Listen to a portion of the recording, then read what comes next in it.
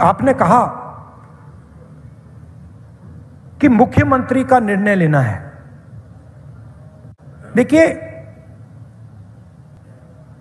यह पंजाब का निर्णय है। यह राहुल गांधी का निर्णय नहीं है। आपने मुझे कहा कि आप डिसाइड कीजिए।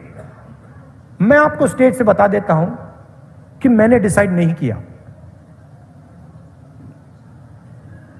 मैंने क्या किया? मैंने पंजाब के लोगों से पूछा। मैंने हमारे कैंडिडेट से पूछा। मैंने अपने कार्यकर्ताओं से पूछा। मैंने युवाओं से पूछा। मैंने वर्किंग कमेटी के लोगों से पूछा। और जो जवाब उन्होंने मुझे दिया, जो पंजाब ने कहा, वो निर्णय मैं आज आपको बताने जा रहा हूँ। ये ये प्रदेश जो है, देखिए आज सिद्धू जी ने गाड़ी में बोला, ये प्रदेश हिंदुस्तान की शील्ड है। ये प्रदेश, इस प्रदेश को अपना नेता स्वयं चुनना चाहिए। और मेरा काम, आपकी आवाज़ को सुनना, आपकी आवाज़ को समझने का है। मेरा ज़रूर उसमें ओपिनियन हो सकता है। मगर आपका ओपिनियन पंजाब का ओपिनियन पंजाब के जनता का ओपिनियन मेरी ओपिनियन से ज़्यादा ज़रूरी है। हमने पंजाब से पूछा और पंजाब पंजाब ने सॉरी पार्लियामेंट में मैंने कहा, कुछ दिन पहले मैंने भाषण में कहा कि देखिए, दो हिंदुस्तान बन रहे हैं।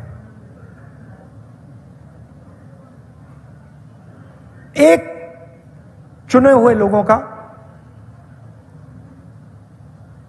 अरबपतियों का हिंदुस्तान मर्सिडीज, हवाई जहाज़, वो वाला हिंदुस्तान और दूसरा गरीबों का हिंदुस्तान। एक में करोड़ों लोग, दूसरे में सौ, दो सौ लोग। हमें दो हिंदुस्तान नहीं चाहिए। हमें सिर्फ़ एक हिंदुस्तान चाहिए। उसमें न्याय होना चाहिए।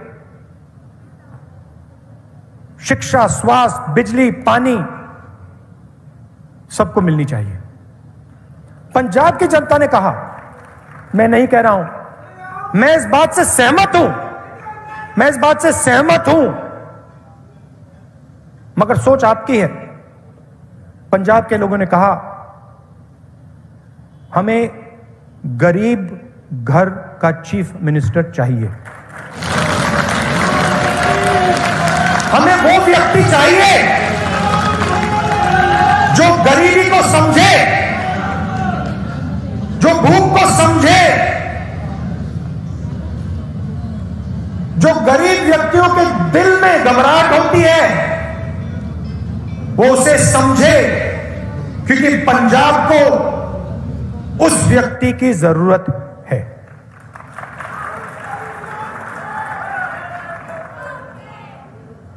मुश्किल डिसीज़न था। आपने आसान बना दिया। पंजाब के chief ministerial candidate Charanjit Singh Channi ji.